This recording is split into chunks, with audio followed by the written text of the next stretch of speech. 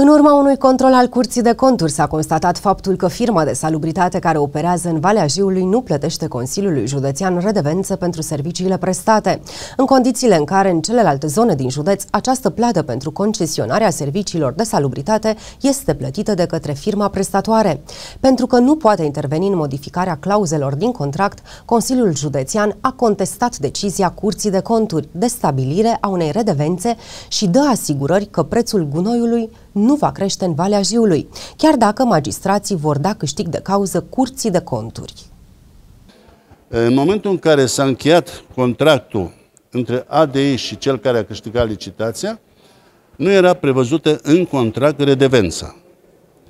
Nefiind prevăzută în contract redevența, nu mă gândeam eu, președintele Consiliului Județean, să bag din propria mea inițiativă redevența, că nu mi s-a părut corectă a venit Curtea de Conturi în control la Consiliul Județean și ne-a impus să luăm redevența, așa cum este și în restul județului, să luăm redevența și în Valea Jului.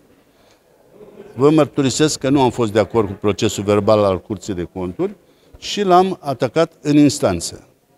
Uh, era singura soluție.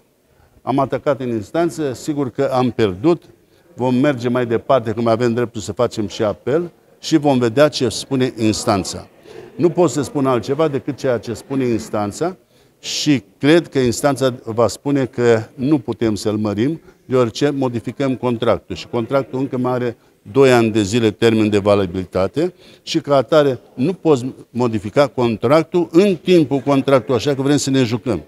Eu sper să înțeleagă și cei de la Curtea de Conturi și cred că instanța ne va da dreptate că nu a fost bine și că nu putem pune acum redevența. Sigur că dacă cumva vom pierde, 100% atunci trebuie să punem redevența, dar nu este ceva de speriat. Și să ne înțelegem că nu este majorarea prețului. Să înțeleagă cum se grăbesc unii răuvoitori, că nu le pot spune altfel, să nu le spun, mă și abțin un pic și fac o, o pauză când vine să spun un cuvânt mai frumos, ceea ce ar merita să le spun acești, acestor indivizi, Niciodată Consiliul Județean n-a venit cu majorare de preț pentru noi în Valea Jului. Ținem la cetățenii din Valea Jului, dar dacă vom pierde procesul cu Curtea de Conturi, atunci trebuie să găsim soluția cu primare din Valea Jului cum vom proceda.